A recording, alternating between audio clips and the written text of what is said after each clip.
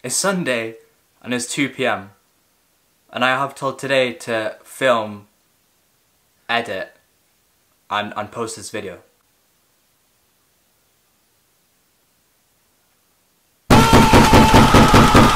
Hey guys, what's up? My name is Taha Butt and I'm a third year medical student studying at Newcastle University and today is going to be a video about role play stations at interviews. Before we get into the video, please if you haven't already, check out my previous video where I give my three most important tips on how to ace the interviews. Also, another thing to mention again, I do offer one-on-one -on -one tutoring for interview preparation for only £10 an hour. If you want feedback on your answers or help structuring your answers, if you don't know how to answer certain questions, if you want help smashing your interviews, then please drop me a DM on my Instagram, which I'll put somewhere on the screen. And also, if you don't have an Instagram, just drop me an email then on my email, which I'll also link on the screen and in the, in the description down below. But yeah, a few of you reached out to me and I'm, I'm teaching some of you and the, the feedback is very positive, so thank you for that. So without further ado, let's get into the video. So role play stations. So what these universities are testing on is giving bad news, coping under pressure and uncomfortable circumstances, honesty and interpersonal skills, and also they could test you on sort of giving explanations as well. So if we just start with the sort of breaking bad news bit. So what you need to make sure with, and this is with any sort of station or any interview, is to introduce yourself nicely, okay? Say who you are. You know, if, if you're given a scenario where you're working at a um, care home, and the scenario is you've given a biscuit containing nuts to a patient has a nut allergy and then now they're um, experiencing, now they're suffering from anaphylaxis at a hospital so it's something you have caused and you need to explain to the patient's family that you've done this. The first thing you would do is introduce yourself. Say who you are. Say, you know, my name is Taha Butt and, um, you know, I, I work at this care home. That introduction is so important. You don't just go straight into the sort of breaking bad news like, oh, hey, can I talk to you? Make sure to introduce yourself because it's professional and it's nice for the person who you're speaking with to know who you are. And then you confirm who you're talking to. So say if you're breaking the bad news to that person, make sure you've got the right person.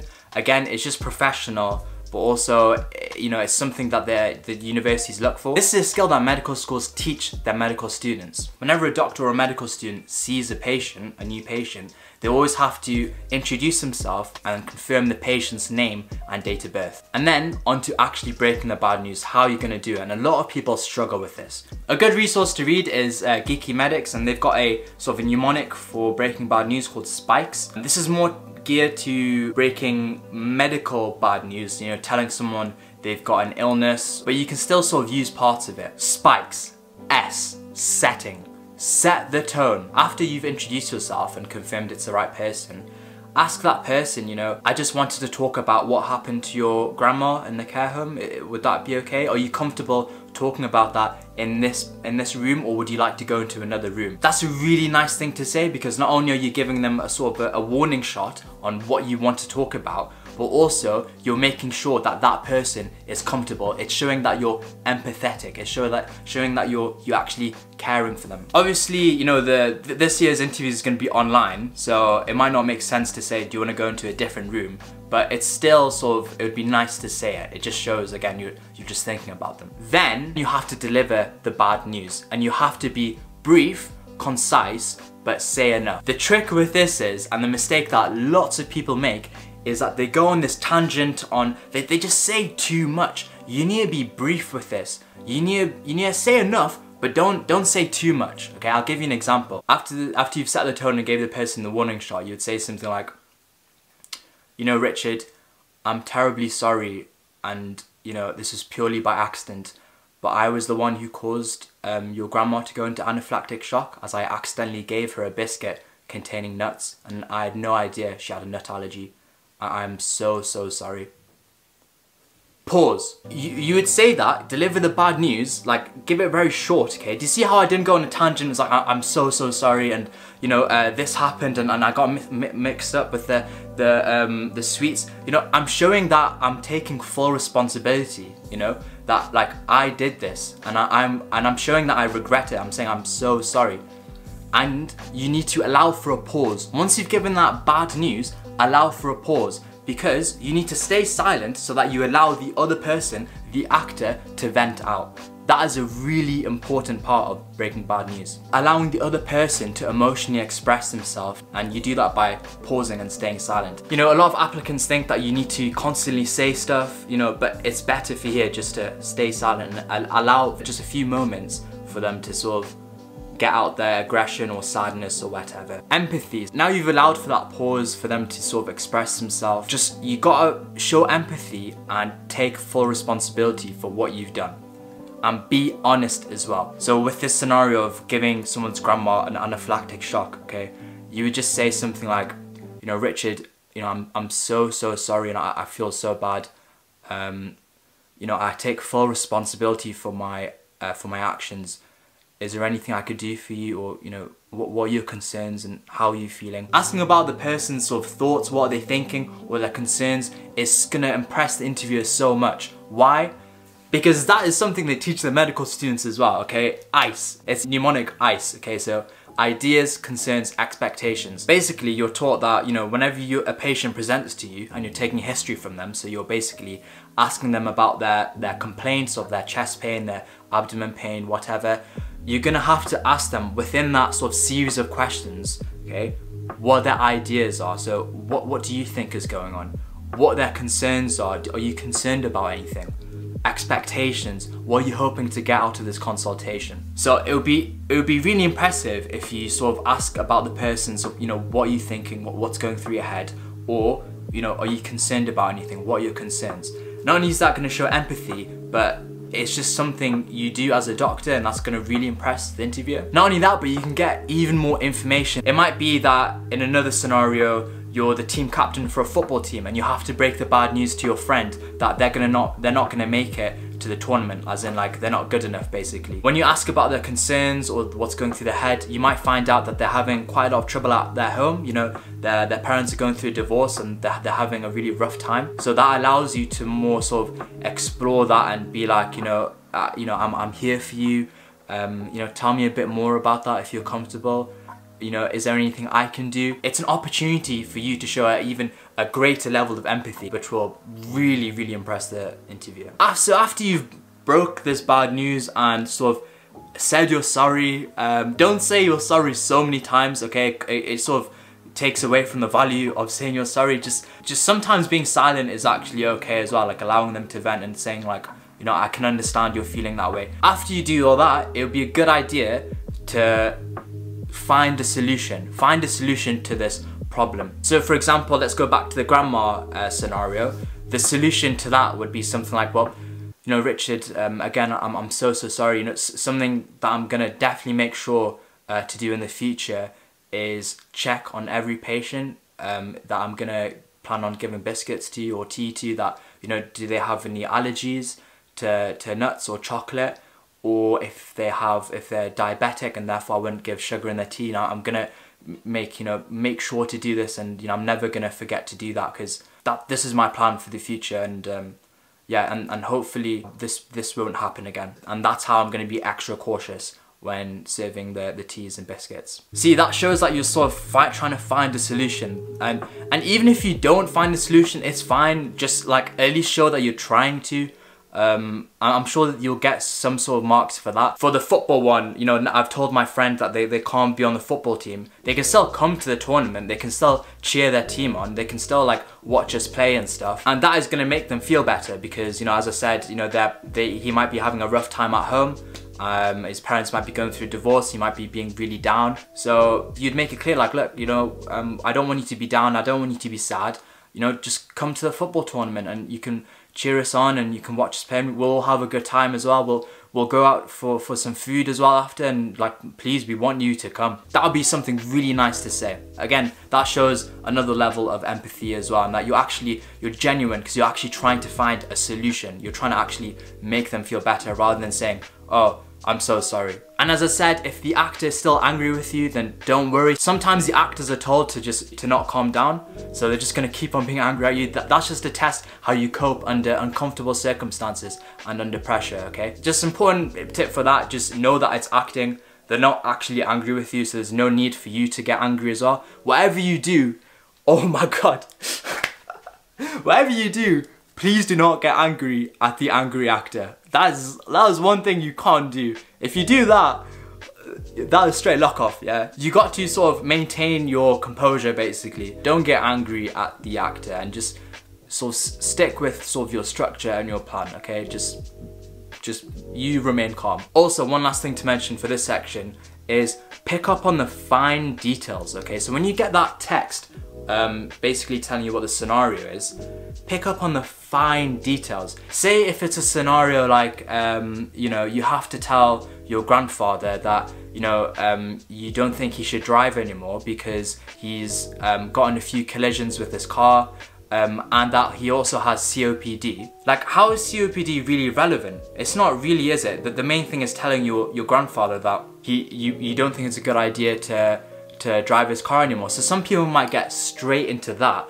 But one thing that's straight away popping off in my head is, he's my grandfather. The first thing I'm gonna ask about is, oh, hi, hiya, hiya, uh, grandpa, you know, uh, how you doing, You're right? You know, get into that and say like, oh, how's your COPD? um, have you, have you, are you coping well? Do you need any help? And say something like, you know, I'm your grandson, remember, so if you ever need any help, okay, you can always, you know, I'm always a, just a ring away, just a call away.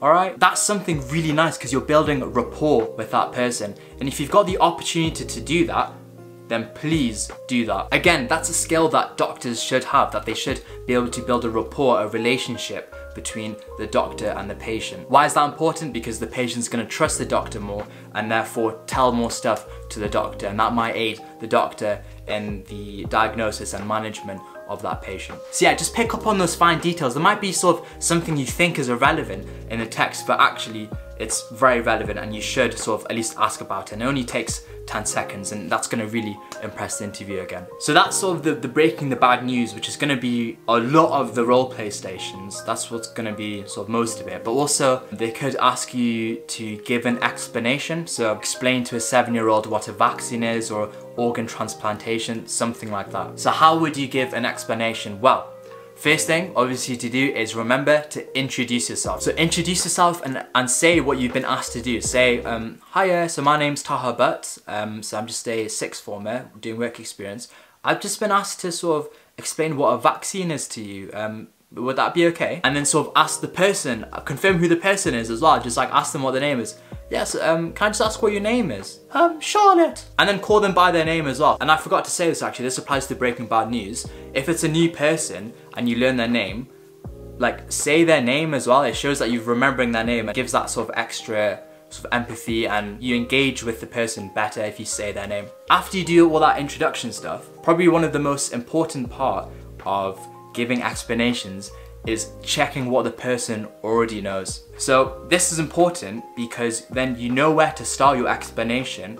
Also, you can clear up any misunderstandings. Often, you know, you'll ask them, so what do you already know about vaccines? And then they'll sort of waffle about some absolute rubbish, like, you, like you'll pick up on a lot of like mistakes. So in your explanation, you can clear up a lot of these misconceptions. So you've checked with them what they know.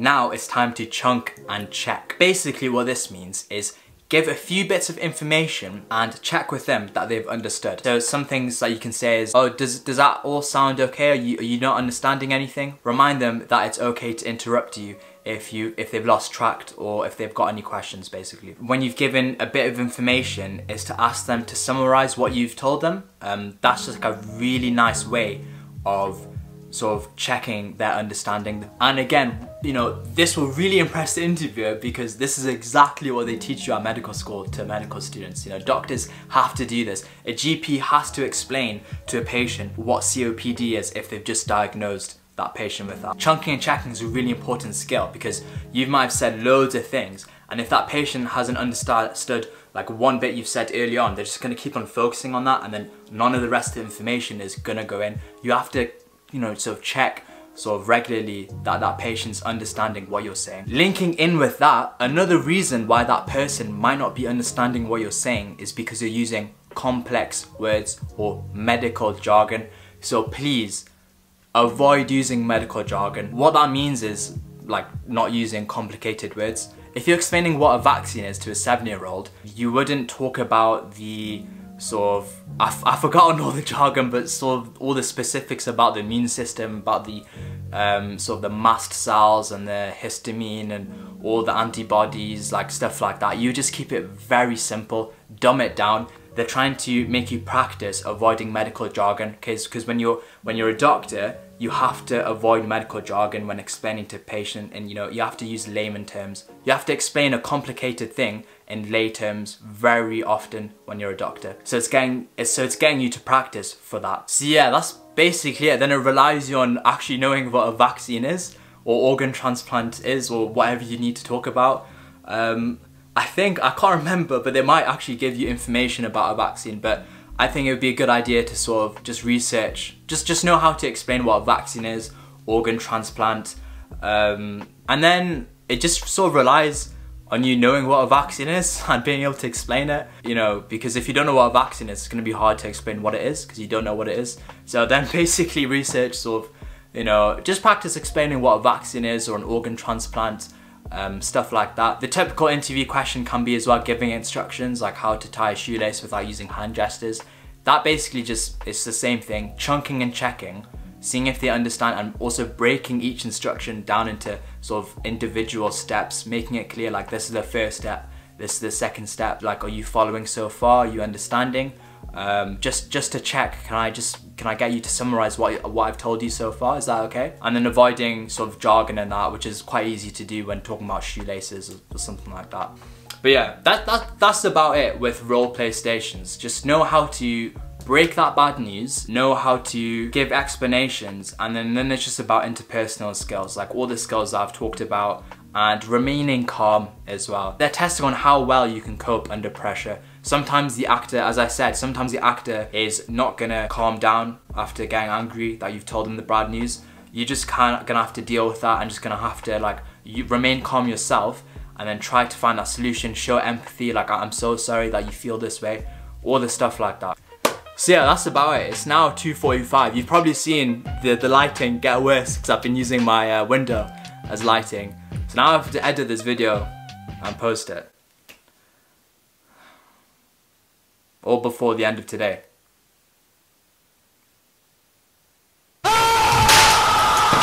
If you guys found this video helpful in any way, then please drop a like and subscribe and share to any friends. And also, if you're interested in one-on-one -on -one teaching for only £10 per hour, then please DM me on my Instagram, which is will be down below and on the screen.